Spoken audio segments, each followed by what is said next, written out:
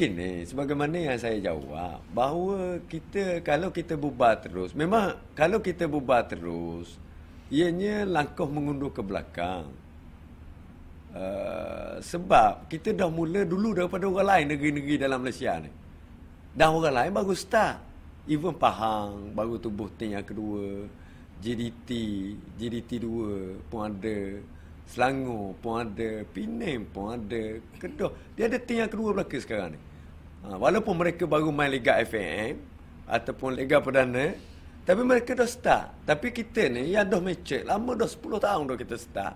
Sekarang ni kita dah sampai ke peringkat atas. Tapi kalau kita tutup sekarang ini, mana kita mengambil langkah mengundur ke belakang. Tidak bijak. Jadi sekarang ni saya faham. Uh, sebagaimana saya maklum dalam keadaan ekonomi pada hari ini, memang kita akan agak terasa.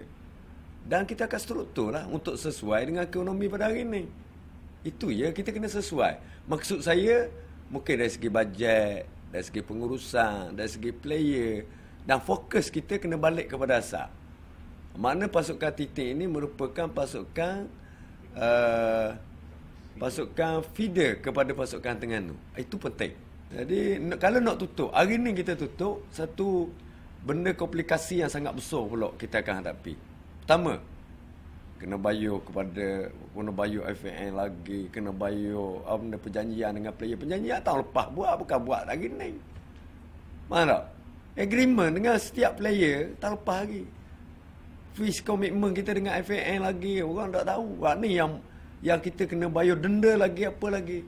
So bukan satu kerja yang mudah lah. Cakap memang mudah. Nak buat payah boh. Benda-benda ni cakap ni mudah lah ke? Pelaksana ni susah kena fikir. Kita kena fikir jangka masa panjang. Ha, saya fikir titik ni satu satu pasukan jangka masa panjang yang boleh memberi feeder kepada pasukan Terengganu